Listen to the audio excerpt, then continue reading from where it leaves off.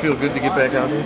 Oh yeah, man, real good. Um, you know, had a bad taste in my mouth trying to like sweat it out, so just feel real good to get back out here running around. Are you all done with tests?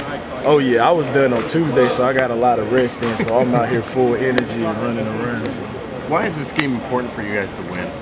I mean, first of all, you don't want to go out the season with three losses in a row. Second of all, ten sounds better than nine. And you know, just to get a, you know, give the fans and give everybody a good taste in their mouth for next season.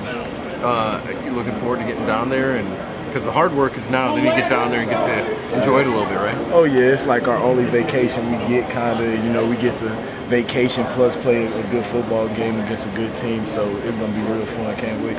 What do you know about Northwestern so far? Um, that they're kind of like our offense. You know, they like to spread it out. You know, their favorite formation is empty. You know, all wide receivers. You know, they like to throw a lot of quick stuff and not allow the defensive line to get pressure and things like that. So we got to do a great job of running to the ball and like just making a lot of plays on the run.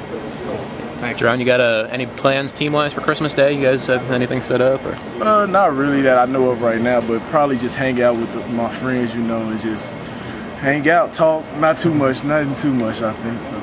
Is it kind of different? I mean, in the past, you guys typically have traveled kind of at Christmas or a little after Christmas, but to actually be down there with the team Christmas Day, that's, uh, that's going to be a little different experience, won't it? Yeah, I think the last time we did it was the Independence Bowl. We were down there before we were down. We left on Christmas Day actually, so um, it's gonna be a little different, but I mean not too different. I usually around. I mean I enjoy being around my teammates and hanging out. These some of my best friends, so it'll be cool.